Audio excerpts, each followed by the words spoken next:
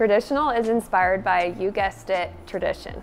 It's a timeless style that takes cues from the 18th and 19th centuries, incorporating classic art, vintage furniture and decor, and ornate architectural details.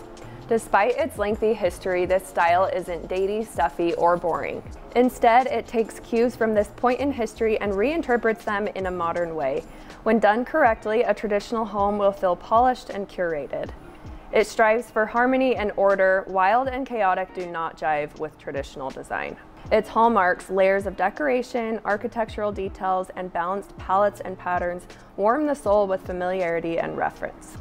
There is no expiration date on traditional design. It's definitely not going anywhere anytime soon.